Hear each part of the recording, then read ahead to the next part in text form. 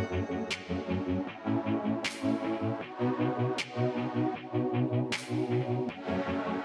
everybody, it's Michael LeBlanc back on the camera, back in Las Vegas after Grocery Shop. Now we're here at NACS. We had lots of interesting people, right? We had the vice president from uh, Kum & Go, which is a regional player, yeah.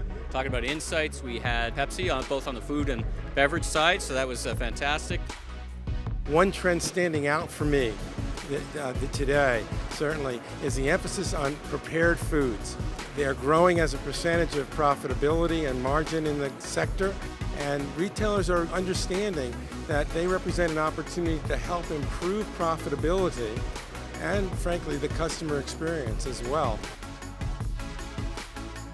Hi, welcome to 2022 NACS. I'm Audrey Ingersoll. I'm the VPGM of our Sweet Treats portfolio for Conagra Brands.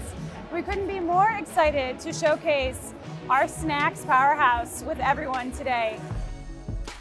We have iconic brands from Slim Jim, David Seeds, as well as Angie's Boom Chicka Pop that we are incredibly excited to showcase with you.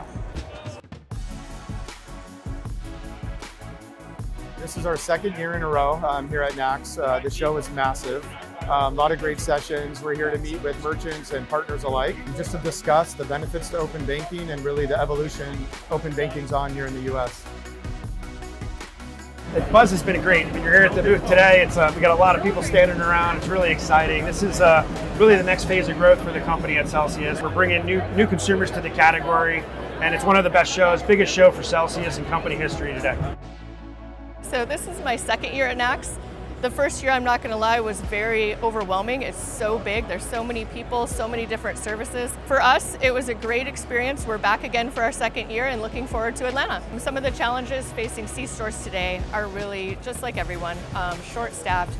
You have very busy uh, industry, uh, a lot of people stopping, traveling, and what we need to do is help make sure that they have tools for those employees so that they can do more with less, and that's where our services come into play. Well, very happy to be here at the NACS Show 2022. We're having a great time meeting with prospects and customers. It's been a fantastic show, great traffic, and great topics to discuss. Some of the key topics that we're discussing with our friends and customers are self service in the fuel and convenience space, the industry is evolving so much. We see electrification, we see self-service journeys. Different trends are coming in from other industry verticals into the fuel and convenience space as retailers are realizing the need for non-fuel retail. This idea that the convenience store could be more than a transactional thing. It could be a destination, and you really had some great thought leaders talking about we're going to do that and be that, what is it going to take to get us there? Also got some appreciation for just the sheer number of vendors there are. I mean, obviously they're the big guys, but a lot of kind of niche specialty, artisanal, gourmet kind of players as well, which you know creates for a little bit more interesting product mix two of the big themes that we are seeing on the show floor and talking to our customers, either on the retail or manufacturing side, are around inflation and how to leverage data and analytics to better understand inflation and the impact to your customer and your ability to sell in the marketplace. And then the second thing that's gaining a lot of traction is fresh food assortment.